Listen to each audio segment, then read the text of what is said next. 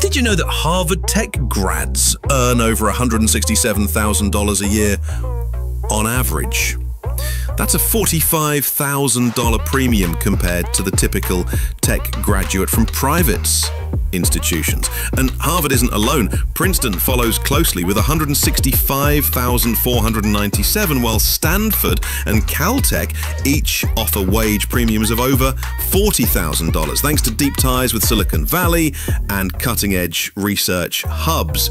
But it's not just about prestige. Harvey Mudd College, where 31% of students pursue tech, ranks among the top for wage premiums. Even smaller schools like Franklin W. Olin College of Engineering punch above their weight, offering grads a 34k boost over the median. Here's the catch the job market's tightening.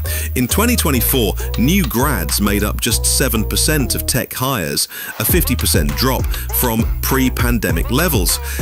So even elite degrees aren't a guaranteed ticket anymore. Still, if you're aiming for a high paying tech career, these schools offer more than just education, they offer leverage. If you like this content, like and subscribe. Thank you.